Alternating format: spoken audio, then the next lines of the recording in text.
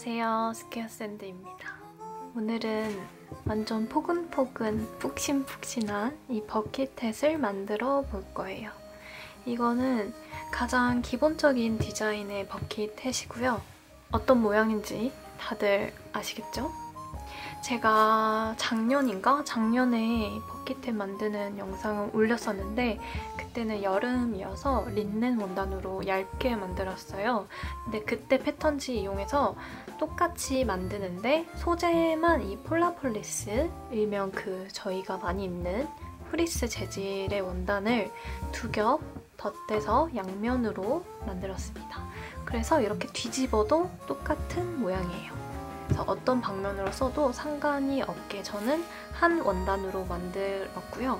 양면으로 사용할 수 있기 때문에 다른 컬러나 뭐 패턴이 있는 거 다른 원단을 사용해서 만드시면 두 가지 스타일링을 할 수 있기 때문에 어, 그렇게 만드는 걸 추천을 드리고요. 깔끔하게 만드실 분은 저처럼 단색으로 하나로 만드셔도 너무 좋을 것 같아요. 그러면 같이 만들어 볼까요?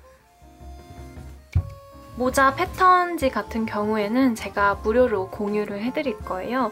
제가 만든 버킷에 이 패턴지를 다운받으셔서 인쇄해서 그대로 재단을 해서 사용하시면 됩니다. 제가 올려드린 패턴지는 이 위에 탑 부분, 헤드밴드, 모자 챙 부분 이렇게 총 3장이고요. 시접을 1cm를 기준으로 제작을 했고 모두 시접이 포함한 패턴지입니다. 어, 저랑 같은 사이즈로 만드실 분들은 이대로 재단해서 사용을 하시면 됩니다. 굉장히 넉넉한 사이즈거든요. 약간 대자라고 해야 되나? 근데 이제 머리가 좀 눌리지 않게 살포시 쓰고 싶으신 분들은 괜찮은 사이즈고요. 딱 맞게 쓰시려면 이것보단 작게 만드셔야 될 거예요. 그래서 이 둘레도 줄이고 조금씩 줄여야 하기 때문에 그 점은 이제 개인적으로 참고하셔가지고 어, 만드시면 되고요. 이 패턴지가 살짝 큰 사이즈의 모자이지만 오늘은 조금 도톰한 원단을 양면으로 만들기 때문에 사이즈가 좀 줄어들어요. 사이즈가 줄어든다는 뜻은 피팅을 했을 때 조금 줄어든다는 말이고요.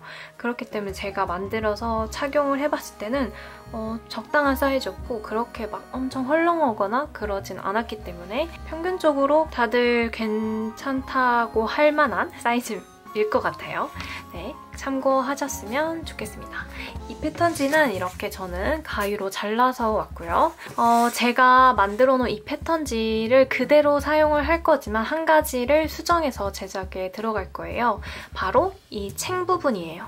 이탑 부분과 헤드밴드, 이 머리 둘레 부분은 그대로 사용을 할 거고 챙 부분은 원래는 이 폭이 시접 포함해서 11cm로 제작이 되어 있는데 저는 2cm를 줄인 9cm로 제작을 할 겁니다. 이 부분을 2cm를 잘라서 사용을 하겠습니다. 그 전에 영상을 보시면 챙이 굉장히 커요. 핏을 많이 가릴 수 있도록 챙이 큰데 이거는 조금 줄여서 만들 거라서 이렇게 커팅을 했습니다.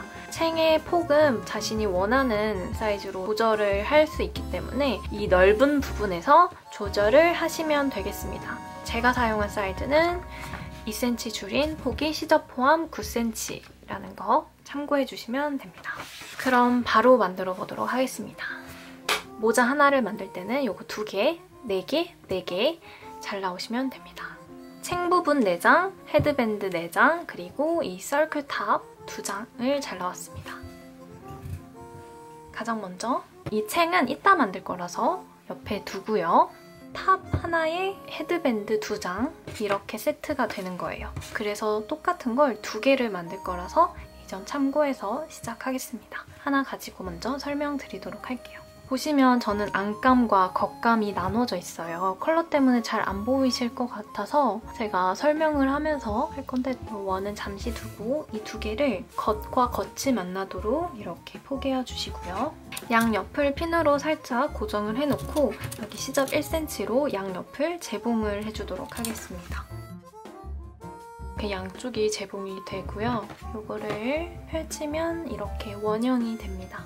시접을 양쪽으로 갈라서 이렇게 꾹 눌러주시고요. 반대쪽도 제가 사용한 원단은 굉장히 부드럽고 보들보들해가지고 어, 손으로 이렇게 잘 되는데 뻣뻣한 원단 사용하시는 경우에는 손이 좀 아플 수 있으니까 이런 거, 이런 도구 이용하시면 되게 쉽게 편하게 하실 수 있어요. 이제 이 탑이랑 헤드밴드 부분을 연결을 해줄 거예요. 가장 먼저 일정한 간격으로 이 둘레가 연결이 돼야 하기 때문에 가운데 중앙점들을 표시를 해놓고 그 점들을 이용해서 연결을 해줄게요. 펜을 이용해서 이렇게 표시를 해줘도 되지만 어차피 핀으로 고정을 할 거라서 핀으로 표시를 하도록 하겠습니다. 재봉 선과 선을 맞춰서 포개어 주시고 반으로 접으면 양쪽의 끝부분이 또 중앙점이 되겠죠. 이 부분에 찐핀으로 이렇게 표시를 해놓고 탑 부분도 가져와서 반으로 접고 양쪽 끝을 핀으로 표시하겠습니다.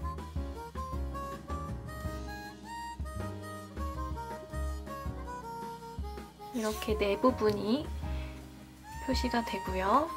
여기 둘레에도 여기 양쪽 끝과 여기 재봉선 있는 부분 이렇게 해서 네 부분이 표시가 되어 있죠. 이거를 이제 연결을 할 겁니다. 이 둘레 부분의 안쪽이 지금 겉면이에요. 이 겉면과 이 탑 부분도 겉면이 만나도록 포개어 주시는데 표시했던 점들 4개가 포개어지도록 핀으로 고정을 쭉 해주도록 하겠습니다. 꽂아놨던 핀을 이제 빼서 이걸로 고정을 해주시면 돼요.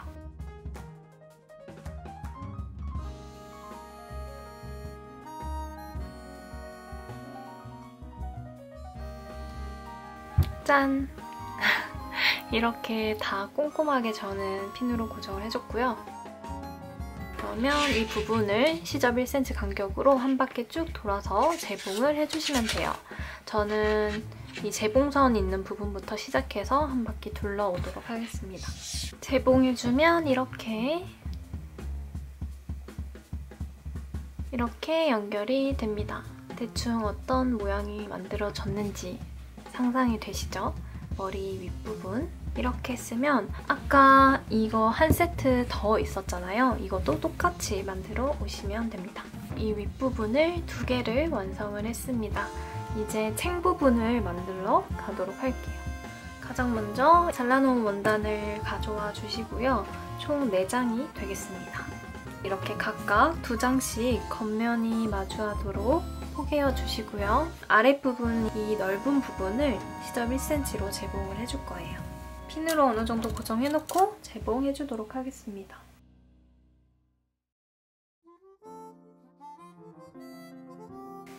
이렇게 두 개 다 아랫부분을 재봉을 해서 가져왔고요. 이렇게 윗부분은 재봉을 하지 않았기 때문에 이렇게 펼쳐집니다. 여기가 겉면이고 뒤집어서 보시면 곡선이기 때문에 이렇게 그러면 시접을 반으로 갈라서 펼쳐주세요.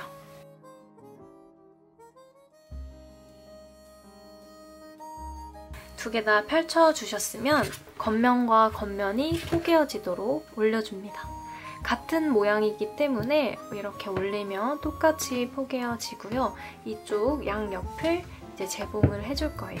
이 중앙에 있는 재봉선을 맞춰서 핀으로 고정을 해주시고 이 옆 선을 맞춰서 핀으로 고정을 해놓고 시접 1cm로 재봉을 하도록 하겠습니다.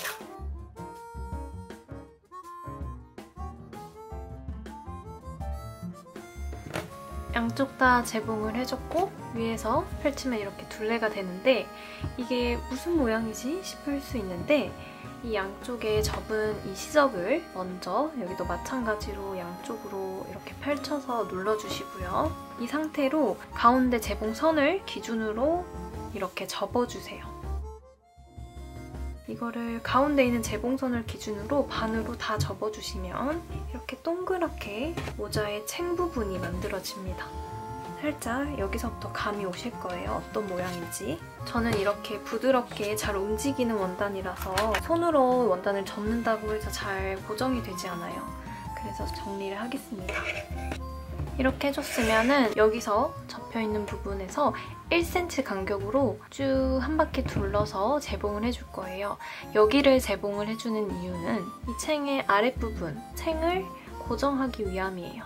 이 챙이 지금 이 부분이죠. 이 부분에서 여기를 재봉을 해주는 겁니다. 이때 이제 원단이 점점 이렇게 겹쳐지면서 두꺼워져요. 그러니까 좀 천천히 재봉을 해주시면 좋고 바늘땀을 좀 더 키워서 해주시는 거가 좋아요.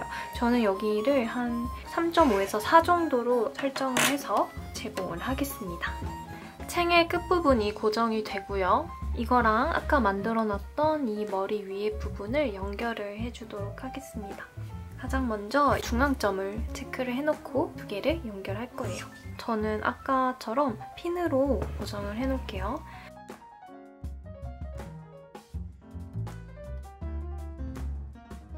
이렇게 네 군데, 머리 부분도 네 군데 표시가 되어 있기 때문에 이제 연결해 줄 건데 사실 챙 부분은 앞뒤가 똑같기 때문에 상관이 없어요. 챙 안에 모자 부분을 넣습니다. 넣어서 여기 둘레를 좀 맞춰줍니다. 가장 먼저 여기 두 개 다 재봉선 두 군데가 있죠. 그 재봉선끼리 만나야 돼요. 겉면과 이 챙의 겉면이 이렇게 만나도록 되어 있습니다. 그러면 꽂아놓은 핀으로 한 번 더 고정.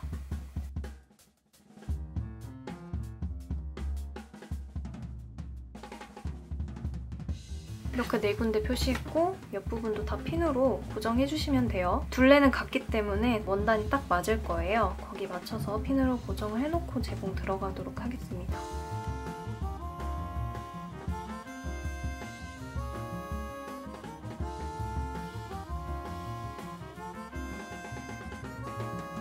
여기를 시접 1cm로 쭉 둘러서 재봉을 해오도록 할게요.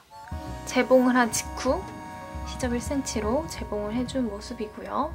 이거 챙을 이렇게 빼서 뒤집어 보면 바깥 부분이 이렇게 완성이 돼서 모양이 얼추 나왔죠? 근데 안쪽을 보시면 여기 머리 부분의 안감 쪽이 아직 재봉이 안 된 상태입니다. 처음에 만들어놨던 머리 부분 요거를 여기 연결해서 마무리해줄 거예요. 어떻게 할 거냐? 이 머리 부분은 뒤집지 않은 상태이고요. 안쪽이 겉면입니다. 요 안에 만들어둔 이 모자 있죠? 모자를 넣어줄 건데 모자 챙을 아래로 향하도록 이렇게 만들어줍니다. 중앙점 네 군데 표시를 해주는 겁니다.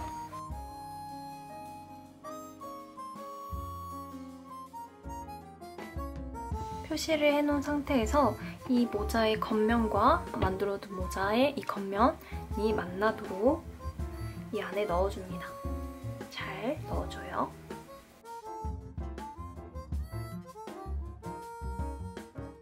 재봉선이랑 재봉선 맞춰서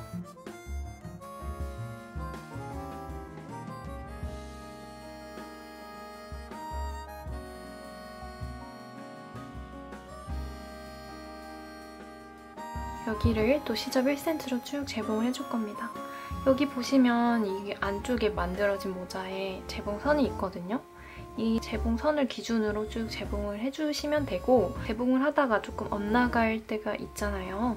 그래도 이 재봉선보단 안쪽으로 재봉이 되는 게 깔끔하게 나옵니다.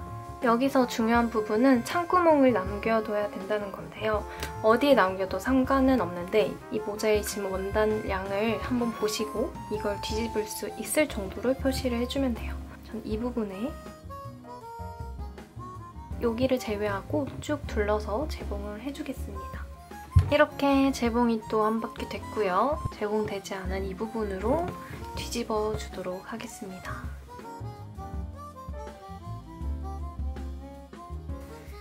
뒤집어주면 이렇게 모양이 나옵니다. 짜잔! 그리고 안감도 안쪽으로 똑같이 돼 있기 때문에 뒤집어도 같은 모양의 버킷햇이 됩니다.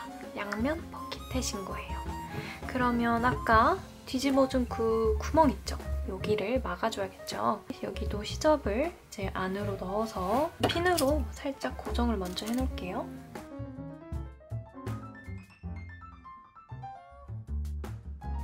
제가 힘으로 막 뒤집다가 이렇게 터져버려서 한 10cm 정도 지금 뚫려있는 상태인데 이 위에를 뭐 0.3cm 간격으로 상침해서 해도 되는데 그렇게 하면 좀 티가 나기도 하고 원단이 두껍다 보니까 저는 공구르기로 여기를 막아줄게요.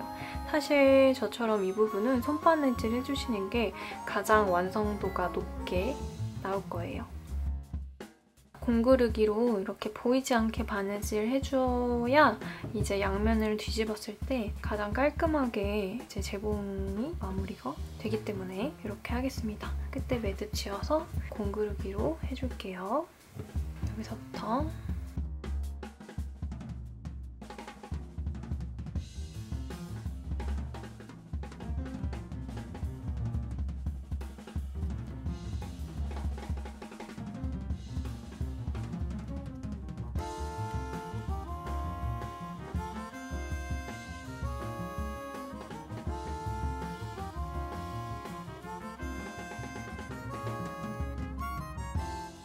공구르기로 해주시면은 이렇게 재봉이 슉 깔끔하게 됩니다. 겨울용 버킷햇 완성입니다.